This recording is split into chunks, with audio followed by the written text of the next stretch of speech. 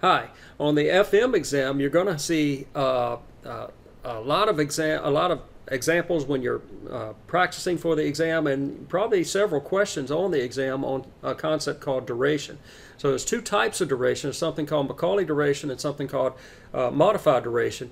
So in this part one video, learning video, we're going to talk about Macaulay duration. We'll do we'll talk about modified duration next.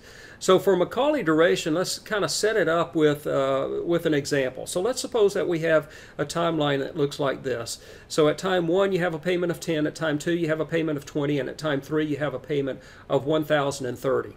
Now I'm kind of thinking in the context of a bond here because you're most likely to see a duration problem in the context of a bond.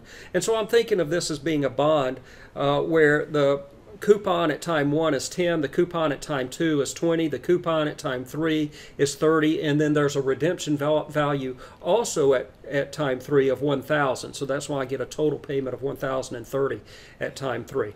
So I, again, I'm kind of thinking of a bond, and uh, the question would be here. The, let me kind of work my way up to the definition of duration by asking a question and and uh, prompting you for some answers. So the the question might be, well, what's the average time that the payments are made? And so you might look at this and say, well, the average time that the payments are made, the payments are made at time 1, 2, and 3. So since the payments are made at times 1, 2, and 3, the average time would be time 2.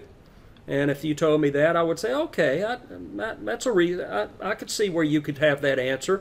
But it's a little bit misleading uh, because the payments are not the same. You're not making the same payment at time one as you are at time two, as you are at time three. So that's a little bit of a misleading answer, although I could see where you could say that the payments, uh, the average payment is at time two. Let me turn the problem around a little bit though and say instead of at time one having a payment of, of, of 10, let's say that you owe 10 people $1 and you owe 20 people $2 and you owe 1,030 people $3. And then if I said, well, what's the average amount that you owe? Well, surely you wouldn't say it would be $2 in that case. You owe 1,030 people $3, you owe 20 people $2, and you owe 10 people $1. So if I say, well, what's the average amount that you would owe uh, I would hope you would do something like this. You would say, well, let's see, uh, the, the total amount I'm going to pay is I'm going to pay 10 people $1 and then tw 20 people 2 and then 1,033. So the total amount I'm going to pay is 10 times 1 plus 20 times 2 plus 1,000 times 3. And then divide that by the number of people. The, num the numerator is the total amount you're paying. Then the denominator divide by that divide by the number of people you're paying, which is 10 plus 20 plus 1,030. And if you do this, you'll get something like a 2.96. And so that's, uh, uh, that's probably a little bit better of a answer, in my opinion, as far as the average timing of the payments, because this does take into consideration the amounts of the payment. Now, what I want to do is rewrite this expression, this last expression I have, let me rewrite it another way just to make a point here. Um, let's uh, first recognize that the denominator is just 1060, and so I could separate that one-term expression that had a, just a numerator and, and a denominator into a three-term expression written this way as a 10 divided by 1060 times a 1 plus a 20 divided by 1060 times 2 plus a 1030 divided by 1060 times 3. Uh, I mean, that's a three-term expression. If you were to combine all three terms, you would do so by taking a common denominator being the 1060, adding up the numerators, and then you'll see you get exactly the same thing.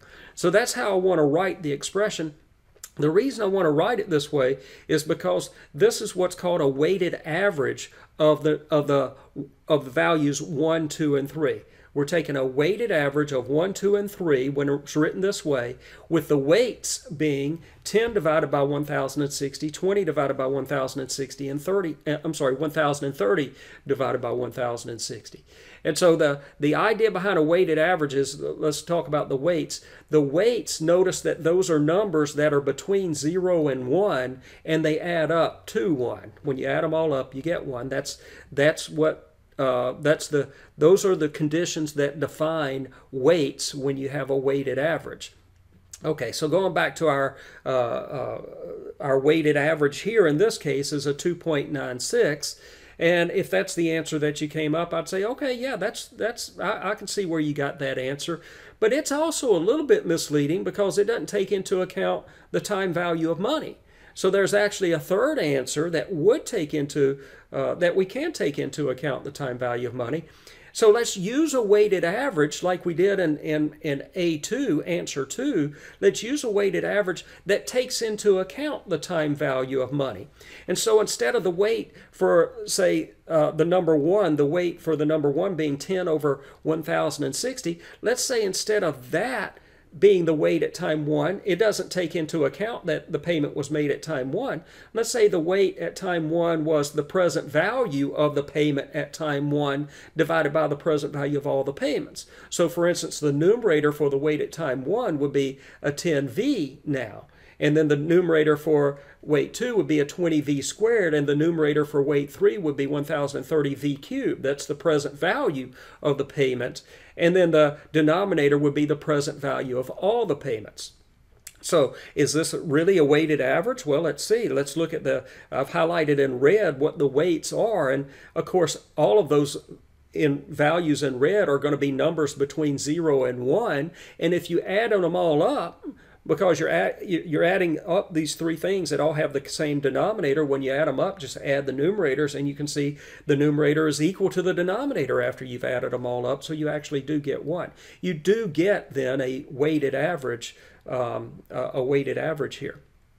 And so uh, let's let's uh, that would be one of our, our choices. And and uh, uh in this case, let me uh, let me combine the three terms into a single term expression. In the denominator, I'm going to get just the present value. In the numerator, I'll get 1 times 10 times v, and then uh, uh, I could rewrite the, the terms as the second term, for instance, in the numerator as a 2 times 20v squared, and then the last term I could write as a 3 times 1030 v cubed. The reason I want to do this, I'll highlight it in red, is because now if you look at the numerator, in the numerator, you're taking the time that the payment is made, one for the first product that's in red. I got a 1 times 10.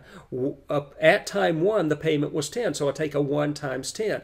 At time 2, the payment was 20, so I'm going to take a 2 times 20 in, in the second term. And then at time 3, I had a payment of 1,030, so in that numerator, I'm going to take a 3 times 1,030 and then discount that.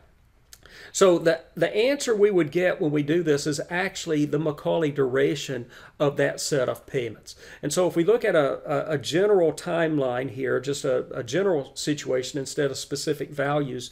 So at time one, I'd have a payment of cap C1. At time two, a payment of cap C2 and so forth.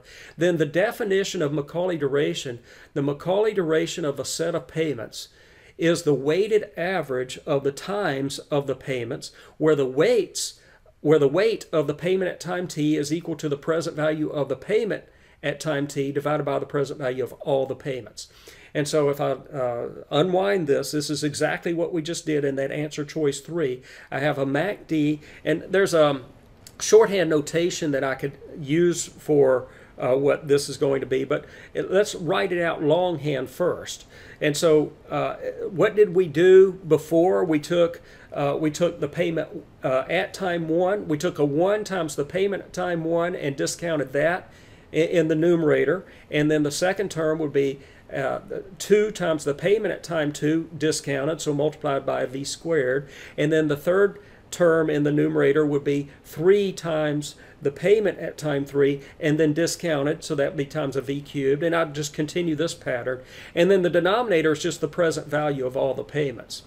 And so again, I've highlighted in red the difference between the numerator and the denominator. The denominator is just the present value of all the payments. The numerator, you don't take the present value of the payments, but you take the payment amount times the time it was paid, and then take the present value of that result. And so the I mentioned that there's some shorthand notation that I could use here.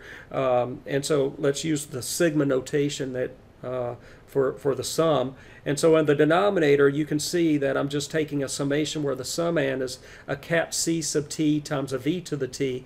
But in the numerator, I have to multiply the cap c sub t, which is the payment at time t, times t. So in the numerator of the summand is going to be a t times cap c sub t times of v to the t.